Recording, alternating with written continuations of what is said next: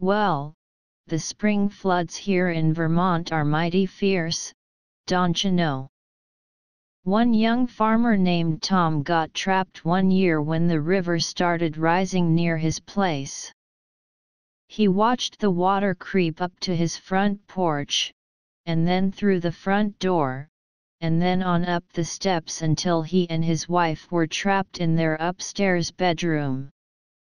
Looks like we're gonna have to get out on the roof, Mildred, he told his wife, who was knitting placidly by the bed as their chicken coop drifted away past the window with all the chickens squawking like there was no tomorrow.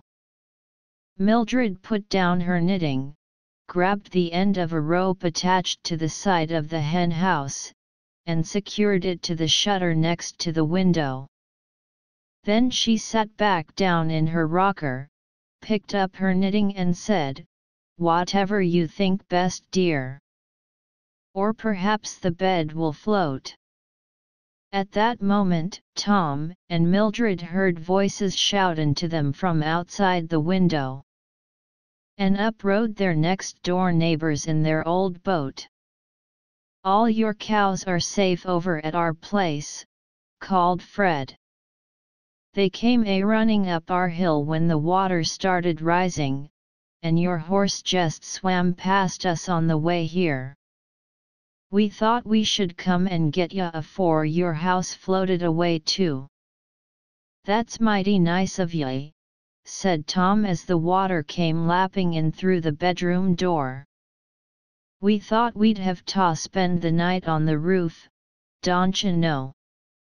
Or float on over to your place on the bed, Mildred added, folding up her knitting, rescuing the cat from the top of the bedstead, and handing both out the window to her neighbors. She climbed through after them and sat in the boat next to the neighbor's wife. Tom was halfway out the window himself when he was struck by a thought. Golly, Mildred! We nearly left without Grandma's moonshine. How in heck are we gonna celebrate our rescue without it? So sayin', he ducked back through the window and swam underwater all the way down to the cellar to fetch a couple of kegs of moonshine. Once the booze was safely in the boat, Tom climbed in after it with four mugs clutched in his hands. First things first, as everyone in the boat agreed. Tom poured the moonshine into the mugs and handed them round. Then he raised his mug and said, to Fred and Mary. The best dang neighbors a feller ever had. Mildred echoed the toast and everyone drank to the rescuers as the rowboat bobbed merrily along the top of the roof. Fred felt called upon to respond. He rose up and stood on top of the bow of the boat. As he climbed up the bow, the boat started rockin' and pitchin' like a frisky kitten, and the cat fell overboard.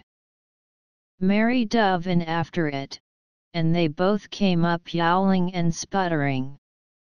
Here's to Tom and Mildred, Fred said, reaching out a hand to haul Mary back into the boat. As they drank the second toast, the rope holding the chicken coop broke and it floated downstream, hens squawkin' protests all the way downstream. After everyone had been toasted half a dozen times, they decided the rescue had been properly celebrated for the moment. Fred picked up the oars again, unhooked the boat from the chimney, and rowed crookedly downstream, following the squawking chickens. They found the chicken coop stuck against a large pine tree. Tom tied the coop to the back of the boat while Mildred swarmed her way clear to the top of the tree to rescue the rooster. Then Fred rowed Tom and Mildred to safety, while Mary poured them all another drink of Grandma's moonshine. All in all, it was as fine a rescue as ever was made, they all agreed afterward. And the best save of the day was Grandma's moonshine, don't you know?